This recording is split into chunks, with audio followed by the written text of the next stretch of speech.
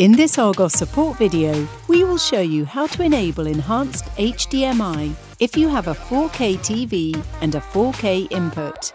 For example, this could be a game console. We will show you how to do this on a Bush TV, but you may find the menus to enable enhanced HDMI are similar to your TV. Firstly, select the Home button or Menu button on your television and scroll to Sources this may be in a settings option on your TV. Scroll along to Source Settings and press OK. Then, scroll down to the HDMI input that you would like to enhance and press OK. Scroll down to Enhanced and press OK. Exit the source settings and press the Source button on your remote. Scroll down to the HDMI input that you enhanced and press OK.